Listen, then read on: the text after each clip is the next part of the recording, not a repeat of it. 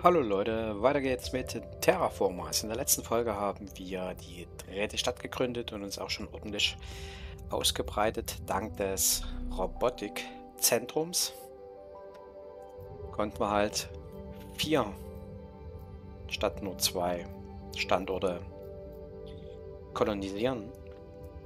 Die Runde haben wir alles erledigt. Wir können sie beenden.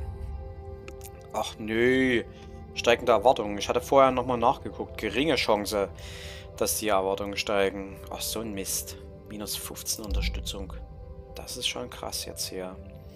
Was ist denn das? Orbitalteleskop auf Phobos. Plus drei Wissenschaft pro Runde. Äh, auch ein Weltraumprojekt. Phobos ist, glaube ich, ein Mond, oder? Phobos, der größere der beiden Marsmonde genau, wäre der perfekte Standort für ein Weltraumteleskop, weit weg von menschlichen Siedlungen und ohne eine störende Atmosphäre. Wäre dort der perfekte Observationspunkt für den fernen Kosmos. Der Maschinendepot kennen wir. Kriegen wir halt nochmal drei Expansionen dazu. Das ist schon stark. Und Weltraumhotels bringt 10 Unterstützung. Also wir müssten halt... Wir sind noch im grünen Bereich hier. Schaut mal, wir haben 536, wir haben ein, ein Polster, aber langfristig gesehen müssen wir ein bisschen auf die Unterstützung achten.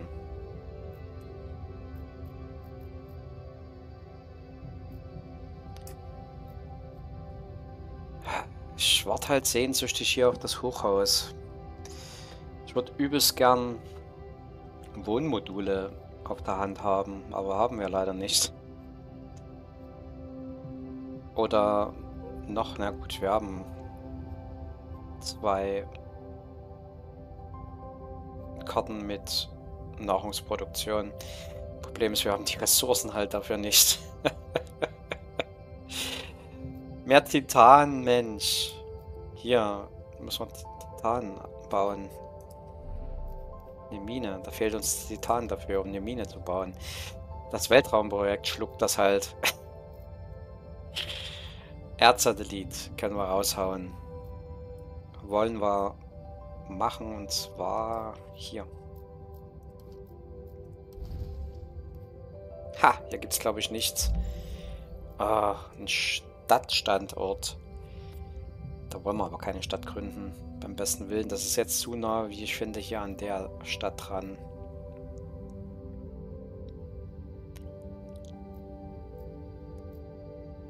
Ah, wobei, Created Dorsum hatten wir auch hier gegründet. So nah. Aber nö. Die Stadt hat auch noch genügend Platz für Gebäude. Die kann sich noch ein bisschen weiter expandieren. Wisst ihr, was wir hier machen? Außerdem kriegen wir hier wieder diesen Mali minus 2 Temperatur, weil das ja ein Tempel ist. Hier bauen wir unseren ersten Bakterienverteiler hin. Wenn wir... Doch, kriegen wir. Schwuppsdiwupps. Und schon haben wir 25 Wissenschaft. Das heißt, wir bauen den Bakterienverteiler und zwar dahin. Müssen uns aber natürlich noch ausbreiten. Ich vergesse das jedes Mal. So ein Mist. Und dazu brauchen wir halt die 60 Nahrung.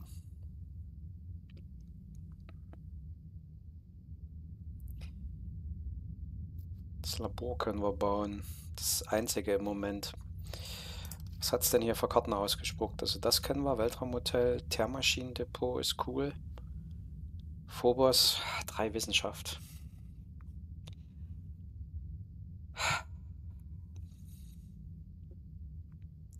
Das werden wir uns gönnen. Die drei Wissenschaft einfach zu krass. Entwicklungszentrum.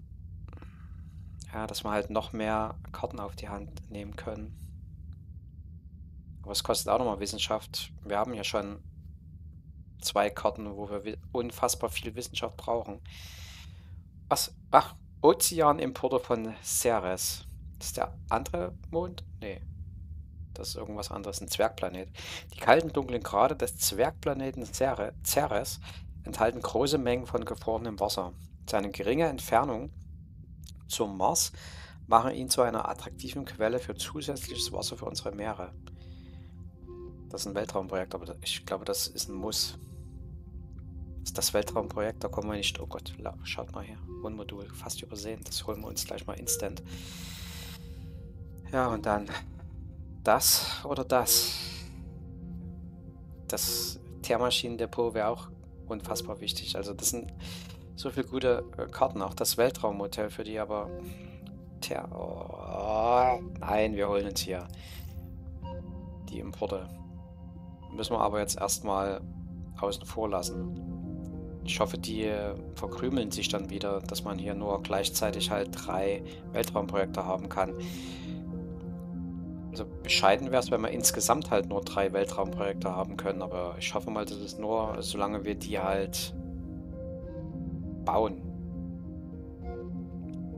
Mal gucken. Wohnmodul, endlich.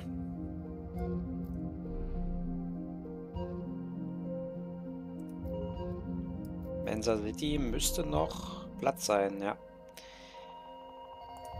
Oder wir sparen es halt für Create Dorsum. Aber in Create Dorsum können wir auch nochmal einen Roboter-Hub uns gönnen. Es wird eine reine Roboterstadt, habe ich so das Gefühl. Obwohl wir hier öffentliche Bäder gebaut haben.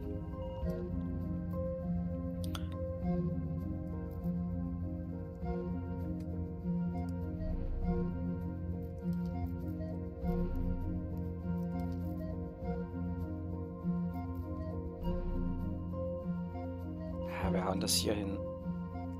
Wieso? Weil wir hier drüben noch unfassbar viele Gebiete haben, die wir noch erforschen können. Hier oben gibt es auch nochmal Silikat. Oh, kostet auch Titan. Wir brauchen aber erstmal Titan. Hier scheint es auch eine Titanmine zu geben.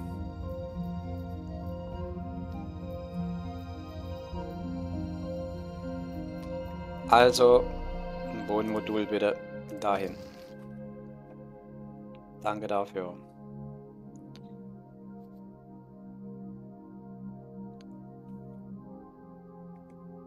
Ja, ich weiß, wir wollten halt das hier ausprobieren.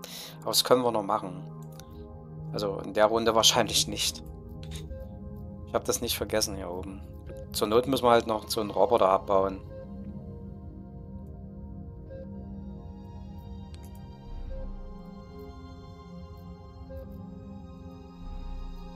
Das alles im Kopf zu behalten, was man so vorhat, das wird halt immer schwieriger, je weiter das äh, Game voranschreitet. Weil es halt immer umfangreicher wird hier. Ich möchte das Labor hier noch hinsetzen. Karten hatten wir alle. Und in der nächsten Runde ist übrigens auch nochmal Wahljahr.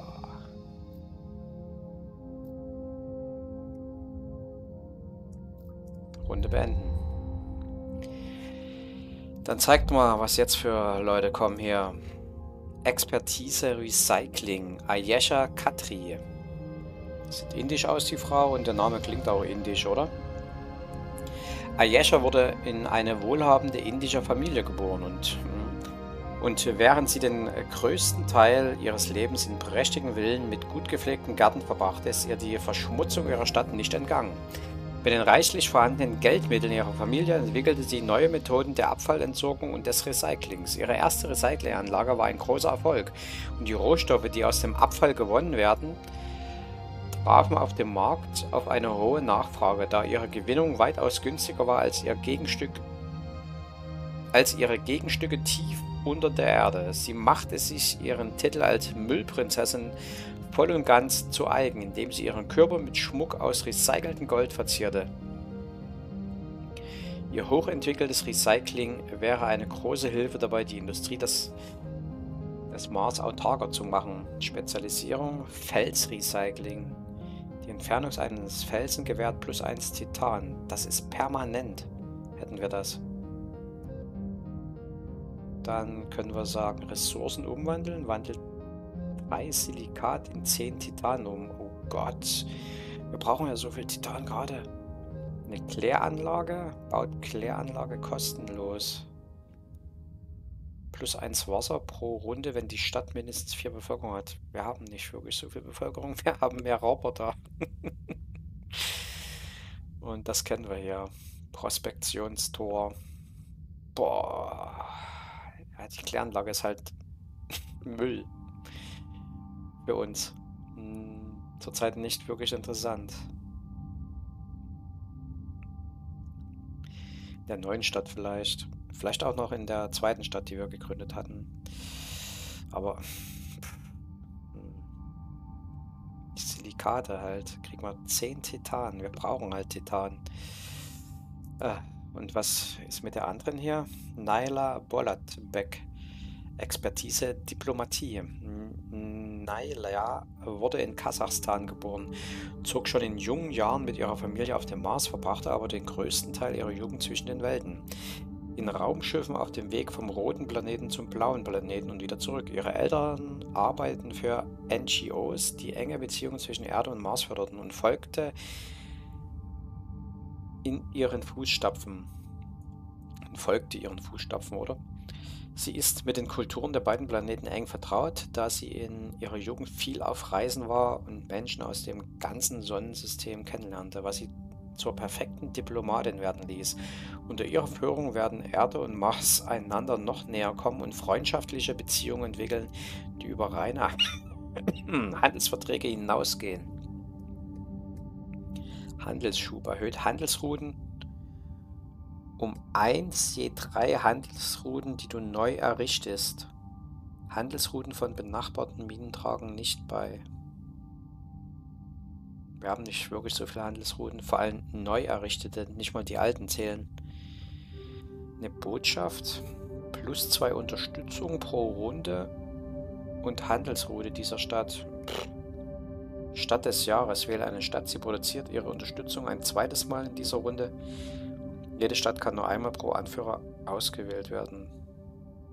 Erkundungsdokumentation. Erkunde einen Stand und erhalte 10 Unterstützung.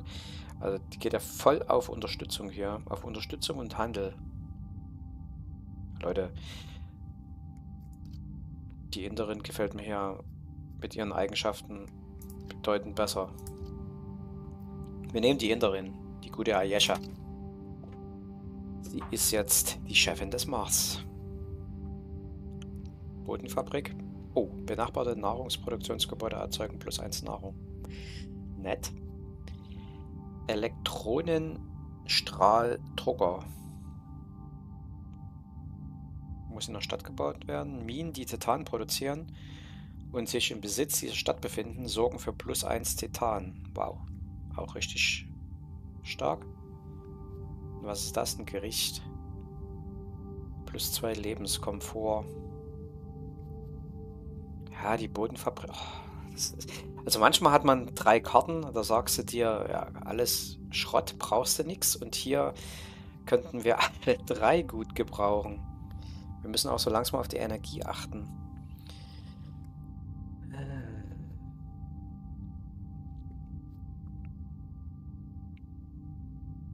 Das, ja, das Gericht können wir vielleicht noch außen vor lassen.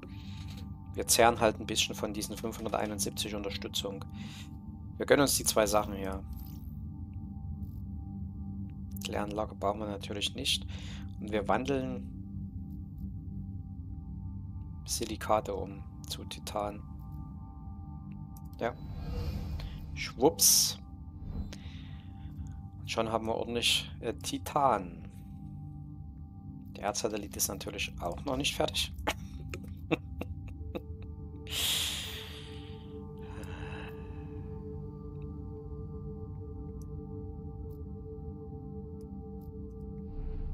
Die Mine können wir hier bauen.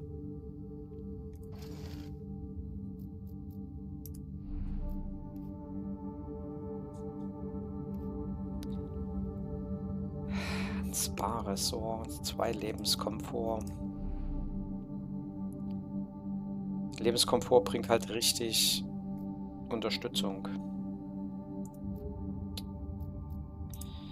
Aber die andere Sache, diese geothermische, diese geothermische Quelle wäre halt auch super. Das ist halt 13 Titan. Aber wir hatten gesagt, wir brauchen Energie.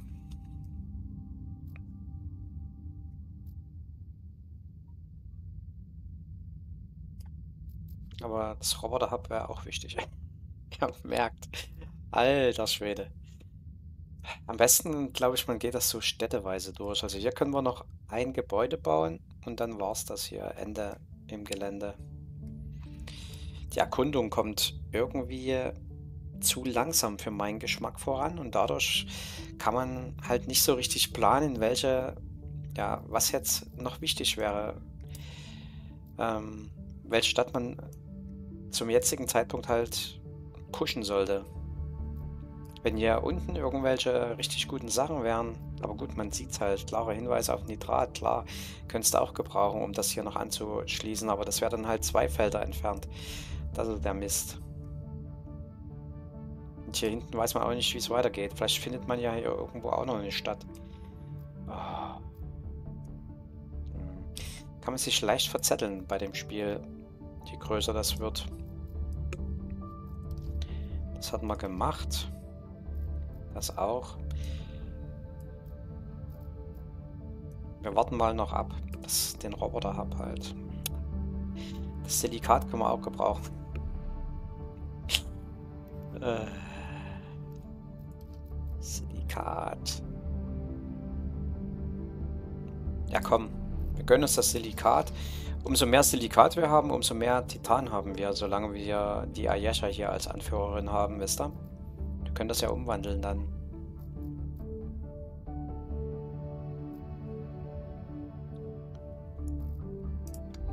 Runde beenden.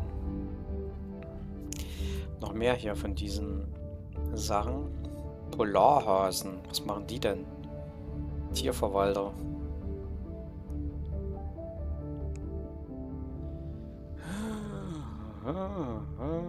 Plus drei Unterstützung pro Runde, wenn in der Klimazone eine Stadt liegt. Was?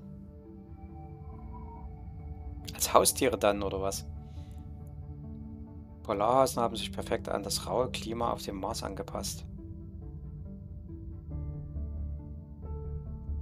Ja, das sagt mir jetzt nicht wirklich zu. Und was ist das hier? Landbakterien produziert plus 1 Titan pro Runde, wenn in der Klimazone eine Stadt liegt. Einfach so, oder was? Diese Bakterien können Eisen und andere Mineralien aus dem martianischen Regolith mittels biochemischer Prozesse in nützliches Titan umwandeln. Wir nehmen das Zeug. Ja, Universität. Darauf haben wir gewartet. Da haben wir im Moment keinen Standort für, für die Lieferdrohnen. Und den Landeplatz werden wir uns auch gönnen. Schwupps, oh, 11 von 10. Was passiert dann eigentlich, wenn man 11 von 10 hat? Kann man die Runde dann nicht beenden? Ich weiß es nicht.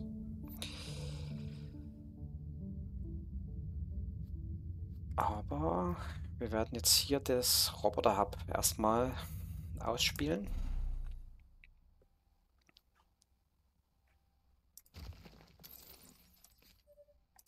Schwupps. Dann gönnen wir uns nochmal Titan durch ihre Fähigkeit.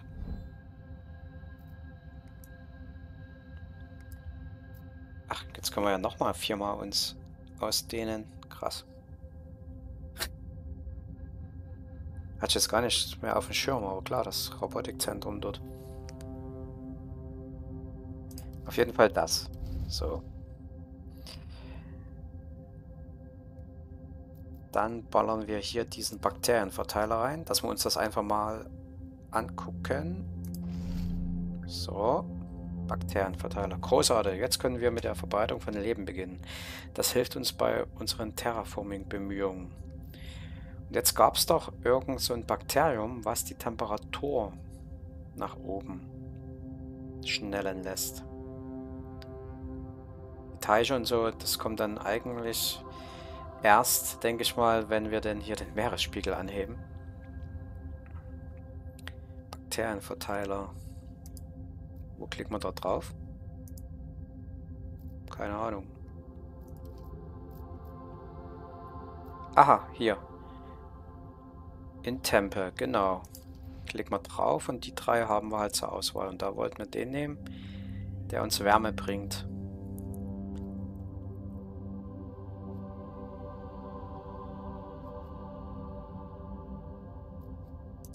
Schwupps. Was? Klimazone ist zu kalt? Och, nö. Ach, komm schon.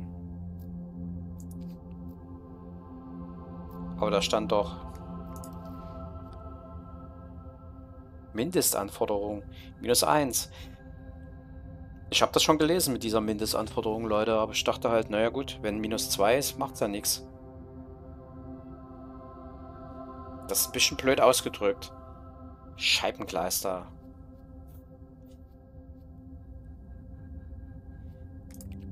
Wie ihr seht, wir können das jetzt hier nicht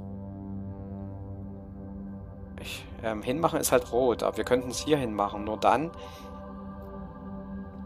Seht ihr das? Entfernung vom ausgewählten Lebensformverteilergebäude 20%. Und dadurch erhöht es die Dauer oder was? Ach man, ey. Das ist ja ein Ding. Bin ich dafür, eine andere Bakterie zu nehmen. Das hier.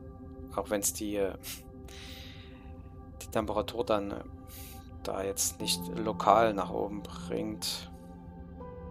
Cyanobakterien. Und dann geht's hier.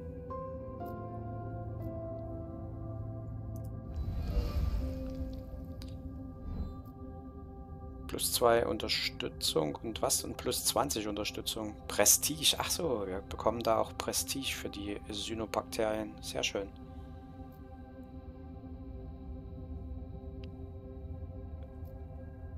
Aber was mir halt gefällt, man kann, irgendwann wird es bestimmt der Fall sein, also wir brauchen jetzt hier nicht 50 von diesen Bakterienverteiler bauen, sondern wir können dann halt auch über weitere Entfernungen die Bakterien verteilen. Das ist gut gemacht. Dann hätten wir das und dann hatten wir gesagt, hier wollen wir erforschen, aber können wir noch nicht, weil das noch eine Runde auflädt. Und das hier können wir jetzt aktivieren, weil wir genügend Ressourcen hingeschafft haben. Aktivieren und schwupps, schon geht's los. So, was ist jetzt? Bisher schlägst du dich gut und scheinst alle erforderlichen Grundlagen zu meistern. Um sicherzustellen, dass die Erde der Kolonisierung langfristig zustimmt, musst du dafür sorgen, dass die Unterstützung durchgehend über Null liegt. Die Verbesserung des Lebenskomforts der Bevölkerung durch Terraforming oder andere Maßnahmen hilft dabei. Auch der gelegentliche Bau von Gebäuden, die für Unterstützung sorgen, ist eine gute Idee. Damit Kolonisierung und Terraformung des Mars ein Erfolg werden, musst du 300 Siegpunkte erreichen. Wir sind alle sehr gespannt, wie weit du uns voranbringst. Viel Erfolg. Ich denke mal, jetzt wird es hier oben keine Ziele mehr geben. Das ist wie so, ja, wie so ein Tutorial gewesen, denke ich mir. Wir schlagen uns gut, das ist doch schon mal gut. Was will man weniger? Dann geht's weiter jetzt. jetzt. Entweder wir sagen, wir handeln mal noch ein bisschen weiter oder wir werden gleich das nächste Weltraumprojekt starten. Ehrlich gesagt, ich bin scharf drauf, noch einen zweiten Erkundungssatelliten zu bekommen. Dann sind wir variabler und können schneller entscheiden, in welche Richtung wir expandieren. Also eins Wissenschaft und eins Silikat. Ja. Gab es hier oben nicht auch noch ein Silikatvorkommen? Ja, da oben. Schaut mal. Das können wir uns auch noch gönnen. 9 von 10. Können wir noch irgendein Gebäude bauen? Den Landeplatz hier können wir noch bauen.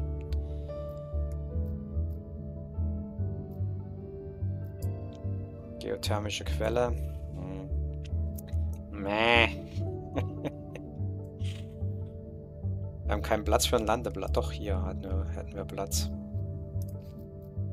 Einmal Landeplatz, bitte. Danke dafür. Und dann können wir doch nochmal mit der Erde handeln. Und da holen wir uns noch mehr Silikat.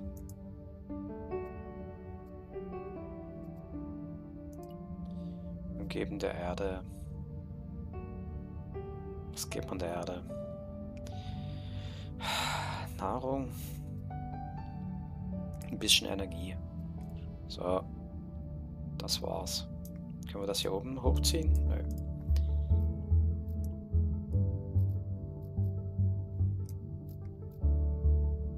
Was haben wir noch an Titan? Acht.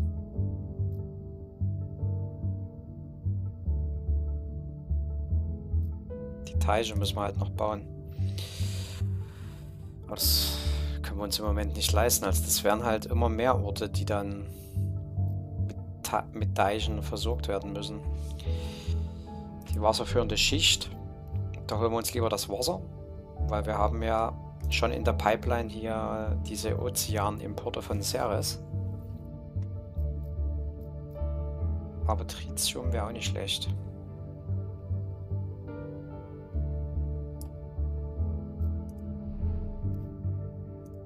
gönnen wir uns die Mine erstmal noch. Und hier warten wir noch mit der Expansion.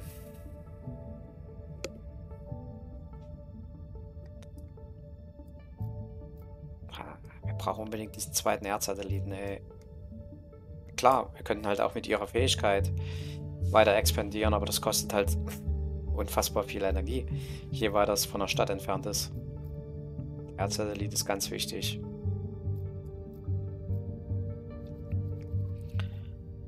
Runde beenden. Sauerstofffabrik haben wir. Marsha finde ich nicht gut. Knollenfabrik haben wir auch. Gönnen wir uns lieber die zwei Wissenschaft. Ganz ehrlich. Erdsatellit ist ready. Brauchen unbedingt noch mehr Titan. Aber wie gesagt, das können wir bei ihr über die Fähigkeit uns reinholen. Dadurch kommen wir halt aber auch nicht mit dem Silikat voran.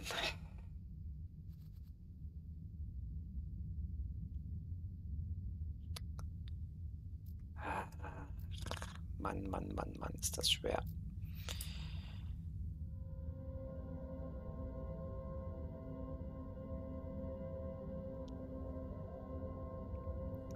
Ressourcen, um hier unten irgend so ein Gebäude zu bauen, haben wir im Moment erstmal nicht. Wir können aber das Titan halt und beziehungsweise das Silikat wieder umwandeln. Wir machen das. Die Fähigkeit ist einfach zu krass, wie ich finde hier. Jetzt den Erzsatelliten. Also, dass man sie nicht nutzen sollte. So rum meine ich ne? So. Und jetzt sehen wir, hier gibt es noch eine Mine. Hm. Das würde dann minus 2 bedeuten, jetzt hier, wenn wir dahin expandieren. Aber ich finde, die Mine ist es wert. Ah ne, minus 1. Minus 1 bedeutet das. Nö, wartet mal. Ne, ne, minus 2 sogar. Und jetzt wäre es halt schön, wenn wir hier hinten das noch mit dem zweiten Erdsatelliten erforschen könnten. Dann wüssten wir, ach, hier gibt es eine Stadt. Da könnte man eine Stadt gründen. Ja, dann warten wir doch lieber. Und hier oben genauso. Ach, Mann.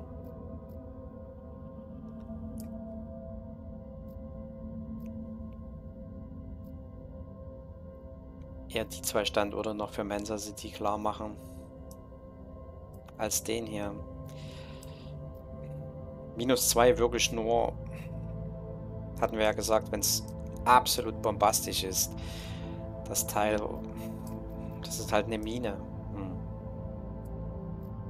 Wir bauen hier die Geothermiequelle, dann haben wir mehr Strömlinge.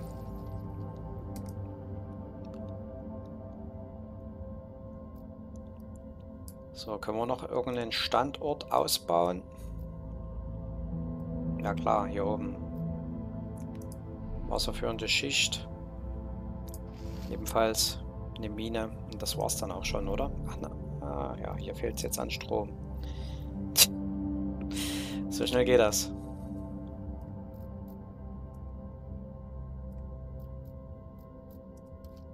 Und könnten den Standort für die Stadt ranholen, aber ist auch wieder zu weit entfernt. Und die äh, anderen Standorte haben wir halt noch nicht erkundet.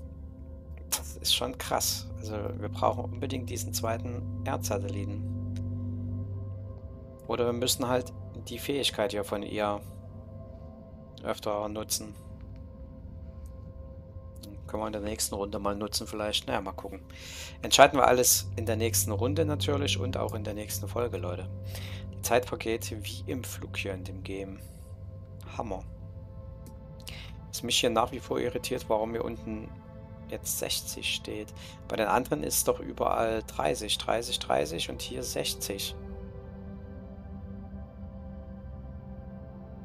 Verstehe ich nicht. Also die Zahl unten ist klar. Wir brauchen 22 Runden, dann erreichen wir die nächste Stufe. Bei den anderen ist es auch klar. Hier kriegen wir immer bloß 1 Sauerstoff dazu, also brauchen wir 29 Runden. Ich frage mich halt nur, warum hier 60 steht. Anscheinend ist es halt einfach so, weil die Atmosphäre so bescheiden ist. Deswegen braucht man halt bedeutend mehr, um das nach oben zu bringen. So könnte ich es mir am logischsten erklären. So, genügend gequatscht.